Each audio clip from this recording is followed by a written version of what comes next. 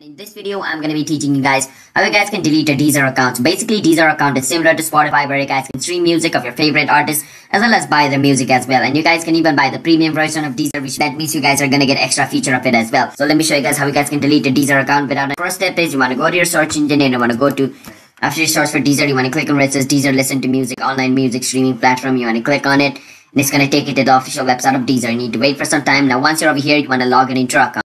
After you log in into your account, you want to click on your profile picture looking icon. I haven't uploaded any profile picture, so it's empty. But if you guys have uploaded a profile picture, it's going to be displayed over here. You want to click on it.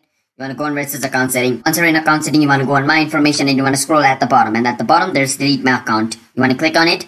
Now once you're over here as it shows by deleting your account you will lose all your playlist album and favorite artists. Basically now what you want to do is you want to enter your password of your Deezer account and if you forgot the password of your Deezer account you can always click on forgot your password to recover the password of your account and after recovering the password you can come over here again and enter a new password and click on delete my account. After you do that basically your Deezer account will be deleted. So that's basically how you guys can delete your Deezer account. Just remember once you delete it your account will lose your playlist album and all your favorite artists so just keep that in mind. And if you guys have bought the premium version of it, it will lose your premium version, alright? So just keep that in mind. So hope you guys were able to understand the video.